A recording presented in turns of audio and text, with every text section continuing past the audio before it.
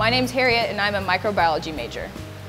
Microbiology is the study of microbes like bacteria, fungi, archaea. They're important in ind industry, in making food, and also they're causative agents of disease.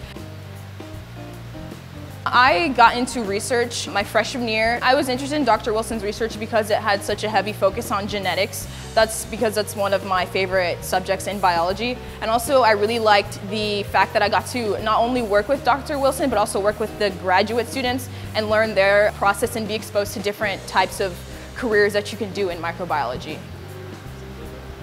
My lab, we work with a fungus that causes rice blast disease. This research is exciting because it has a huge global impact. The work that we're doing can improve crop productivity, especially in rice, and it can be used to further research in cancer. Working as an undergraduate researcher helps you prepare for leadership roles.